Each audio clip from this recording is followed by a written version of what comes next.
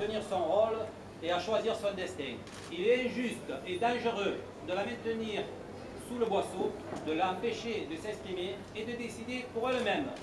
Le projet de loi présenté par le gouvernement a pour objet de transférer le pouvoir aux élus et aux représentants des collectivités territoriales désignés par leurs concitoyens. Le projet transforme donc totalement la nature des rapports existants entre l'État et les collectivités territoriales.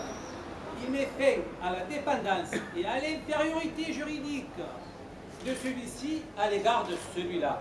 Rassemblons-nous pour donner à ceux qui désormais pourront décider, agir, construire librement les possibilités de travailler vite, mieux que par le passé, dans l'intérêt de leur commune, de leur département, de leur région et de la France.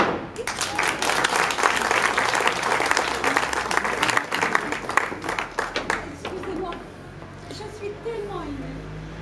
おごっぱ